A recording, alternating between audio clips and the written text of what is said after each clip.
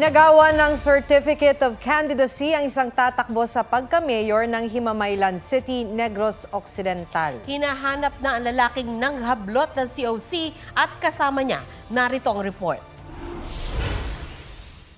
Maghahain na si Engineer Vicente Hinova ng kanyang Certificate of Candidacy sa pagka-mayor ng Himamaylan City, Negros Occidental kahapon nang lumapit ang isang lalaking nakasombrero at hinablot ang hawak niyang green folder kung nasaan ang kanyang COC. nagsulod ko sa gate sa community compound. Oh my God, bilang uh, nag-agaw sa ako bilang kapitan ng green na folder. Sa katibot ko, in-attempt ko ang tao nga dumubon.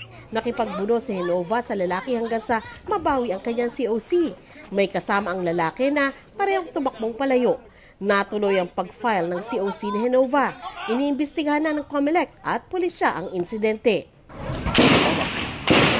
Isa naman ang patay sa batuhan at barilan sa Sharif Agwak, Maguindanao del Sur kahapon. Ayon sa pulisya, ang biktima ay miyembro ng Barangay Peacekeeping Action Team. Anim ang sugatan, kabilang ang isang pulis. Tinitingnan ng pulisya kung may kinalaman sa politika ang insidente na sumiklab umano sa pagitan ng mga taga-suporta ng incumbent mayor at ng makakalaban niya. Pinag-aaralan ng PNP kung isa sa ilalim ang lugar sa areas of concern sa election 2025. Ang Commission on Human Rights naaalarma sa mga napapaulat na election-related violence.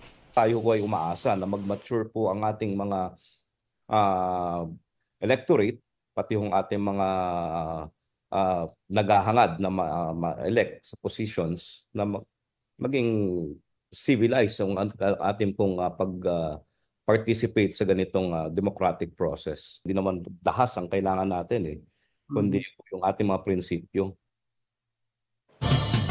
Inupload ng isang social media influencer at nag-viral ang tila sadyang pagpasok ng isang motorista sa isang one-way na kalsada sa BGC Tagig.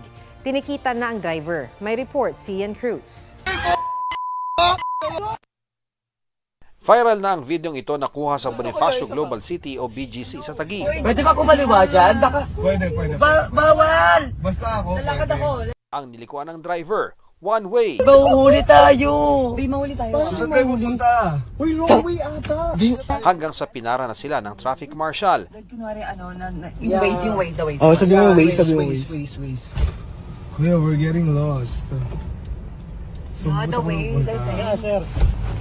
Oh, Sorry po, kuya. We're getting lost. Saan Yung po pupunta? kami somewhere. Ang driver, nag-name drop pa ng isang anak ng politiko. Kuya, sorry talaga. Oo, din you can guide me na lang as kuya kasi we don't know talaga BGC. Kasi legit promise.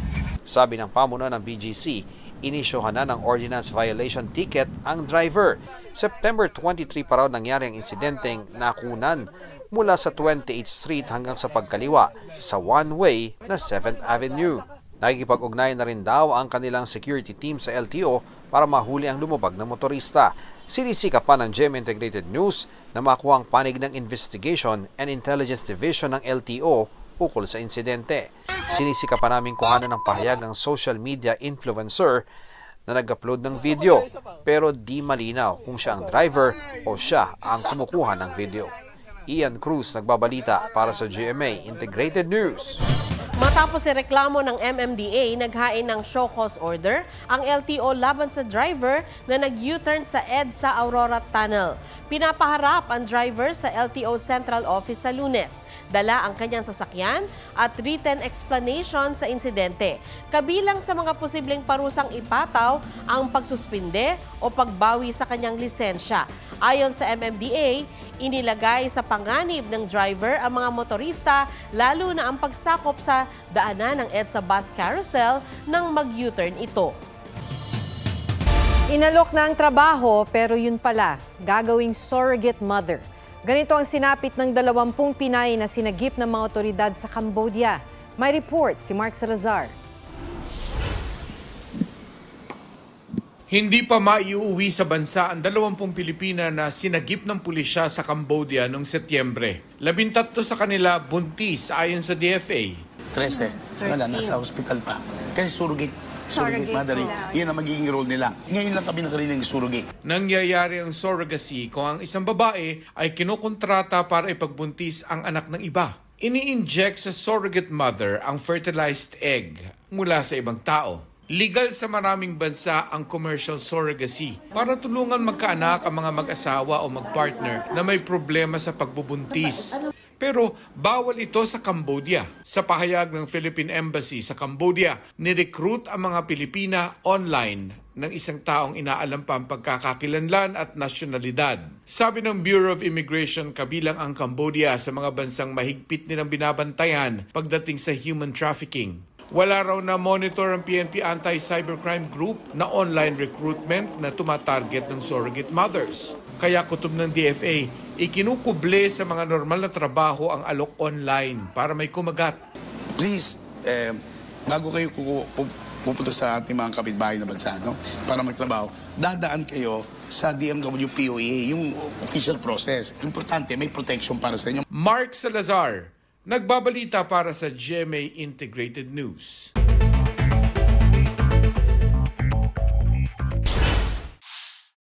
Mga Pinoy sa Florida, pinayuhang lumikas dahil sa banta ng Category 5 Hurricane Milton. Ayon sa Philippine Honorary Consulate sa Florida, may mga Pinoy na lumikas pero may ilang nananatili pa rin sa kanilang bahay. Inaasahang tatama sa Tampa Bay area sa Florida ngayong gabi o bukas ang Hurricane Milton kung saan nakatira ang mahigit 26,000 Pinoy. Kasong layong bawiin sa mga Marcos ang ilang ari-arian nagkakahalaga ng 276 million pesos ibinasura ng Sindigan Bayan. Hindi yan dahil sa merito, kundi dahil sa tagal ng pagpapagulong sa kaso na inihain halos 40 years na ang nakalilipas. Sabi ng korte, malinaw na nalabag ang karapatan ng mga akusado sa mabilis na pagresolba ng kaso dahil makikita sa rekord ng korte ang kawalan ng pag-isikap ng mga naghain ng kaso. Ipinunto pa na kung di pa nasisimulan ang mismong trial para sa kasong ito at dalawang dekada na ang lumipas mula nang masuspend ang pre-trial, gaano pa katagal para ito'y malitis at madesisyonan. Natanggap na raw ng PCGG ang Sandigan Bayan Resolution at kokonsultahin nila ang Office of the Solicitor General para sa posibleng legal action o remedy. Sinusubukan pa namin kunan ng pahayag ang OSG. John Consulta, nagbabalita para sa GMA Integrated News.